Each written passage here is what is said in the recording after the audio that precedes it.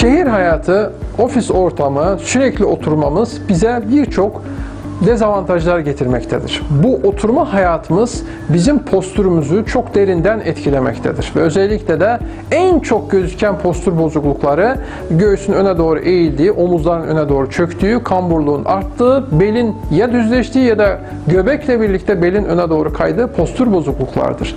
Bu durumda göğüs kafesinin ön tarafındaki fasyal ağların, kasların, zarların küçülerekten ön kas zincirinin öne doğru vücudun çekilmesine neden olacaktır. Baş öne gidecek, omuzlar öne çökecektir.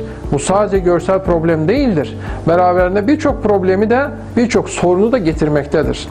Her gün iş başında, hele ki günün başında, ortasında ellerindeki uyuşmalardan, ellerindeki keçelenmelerden, ellerindeki ısınma probleminin o varlığından bahseden insanlar veyahut da ellerindeki renk değişikliği, solukluğundan bahseden insanlar bunu bir yere bağlayamamaktadırlar. Oysa ki bunlar özellikle göğüs seviyesindeki pektoral kaslarımızın, minör pektoral kaslarımızın, derindeki pektoral kasların altındaki tuzaklanmalardan dolayı ortaya çıkmaktadır. İşte bu tuzaklanmaları ortadan kaldırmamız gerekiyor ki o ellerimizdeki problemler ortadan çıksın.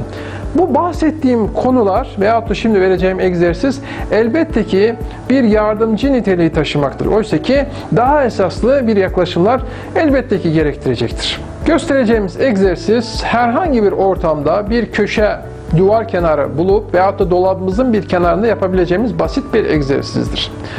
Bu egzersizi yapmamız için ayakta duruyor olmamız ve bir kendimize bir köşe veyahut da dolap bulmamız yeterlidir. Aslında egzersiz çok da yapacak adam aranıyor tabir yerindeyse. Yapacak adam her yerde bu işi yapar. Birinci egzersizimizin göstergesi ise bir köşe bularaktan bir dolabımızın köşesi gidiyoruz ve elimizi başımızın arkasında veyahut da üstünde ensemizde veyahut da boynumuzda değil buralarda veyahut da burada koyaraktan bir dolap kenarına gidiyoruz ve dirseğimizin kenarını dolaba koyuyoruz. Buradaki dirseğimizin pozisyonu çok önemlidir. Aşağıda olmayacağı gibi çok yukarıya da gitmeyeceğiz. Yaklaşık olaraktan göz hizasında olacaktır bu.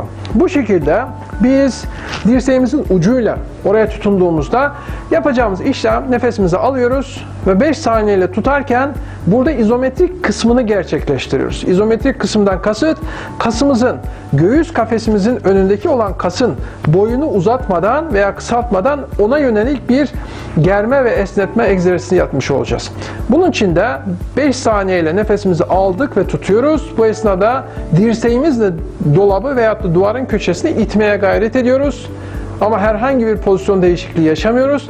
Sonra 5 saniye sonrasında nefesimizi verirken tüm vücudumuzla hem kalça hem göğüs kafesini komple öne doğru götürerekten bu şekilde yine bir 5 saniye bekleyerekten izodinamik kısmını gerçekleştirmiş oluyoruz.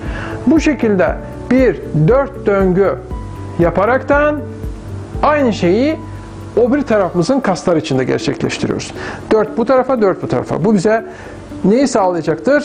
Göğüs kafesimizin ön tarafındaki kasların ve ağların, fasyal ağların esniyerekten altındaki lenfatik kan dolaşımının rahatlamasına neden olacaktır.